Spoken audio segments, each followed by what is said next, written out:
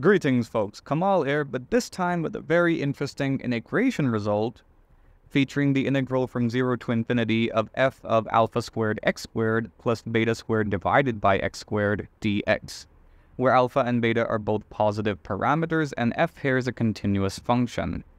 Now provided that the integral converges, we can figure out a very nice simplified version of the integral that is pretty cool and we'll apply it to a concrete example later on in the video. But how exactly do I want to begin solution development, or in this case, the exploration? Well, we have alpha squared x squared plus beta squared divided by x squared, so there's an interesting symmetry here regarding alpha and beta. What if I perform the substitution that is letting x here equal to let's see, we'll have beta divided by alpha times t.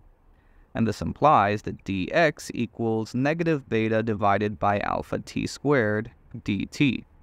Now, as x approaches 0 from the right, we have t approaching infinity. And as x approaches infinity, of course, we have t approaching 0.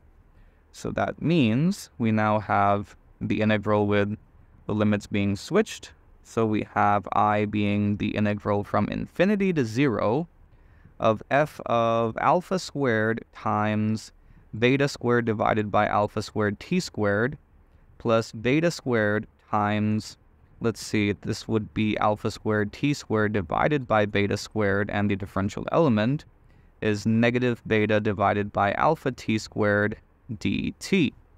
Okay, cool. And of course, we can switch up the limits of integration so that they don't look that weird anymore.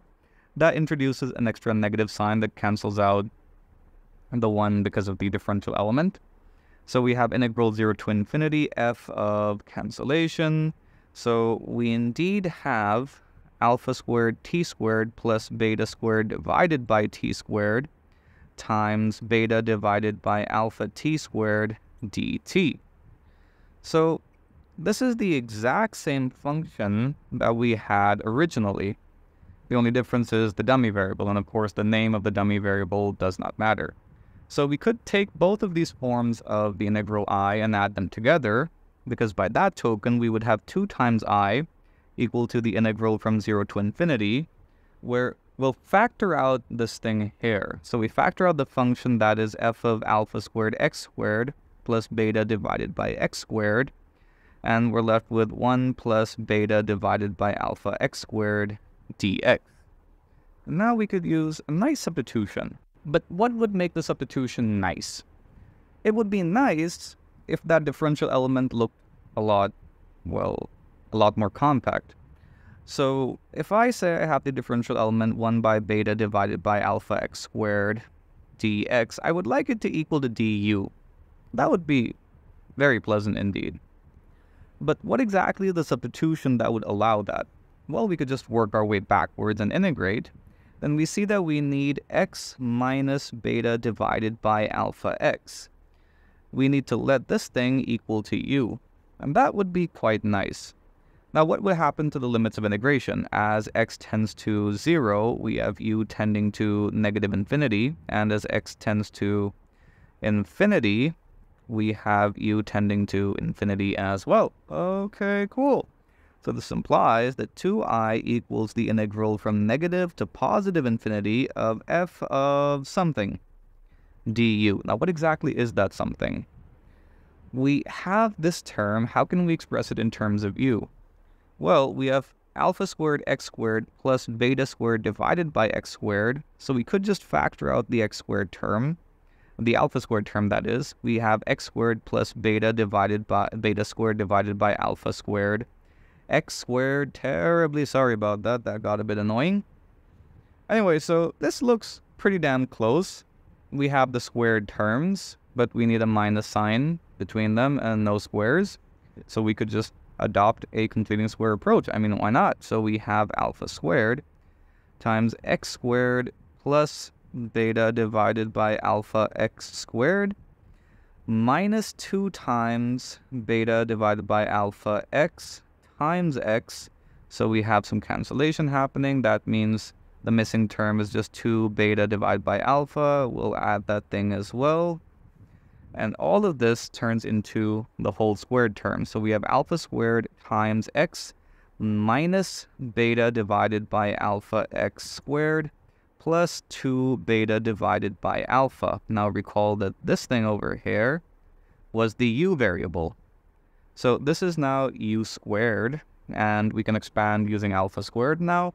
So we have alpha squared u squared minus, no wait, plus 2 alpha times beta, which is pretty cool. So that's what alpha squared x squared plus beta squared divided by x squared equals.